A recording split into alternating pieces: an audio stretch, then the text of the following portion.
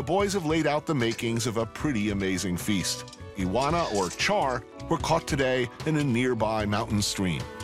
Enormous Hokkaido scallops pulled this morning from the Sea of Japan sizzle and pucker in their shells over the fire in butter and lime juice and a touch of home-brewed soy sauce. Wild Japanese boar hangs above the coals, radiating its sweet aroma as it cooks. Look at that. Yeah. So how long have you all known each other? How many years? Well, 30 years, huh? Right? We know each other. I love this kind of cooking, you know.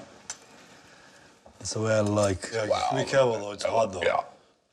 The, oof. Mm. Wow. Yeah. Wheat. Uzura, Freshly caught local quail is rubbed with olive oil, sprinkled with salt, and lightly glazed with that homemade soy. どうですかね? Yeah. Oh, wow. How's it? Good? That's good. mmm This kind of charcoal slow cooking gives this kind of flavor, soft, juicy,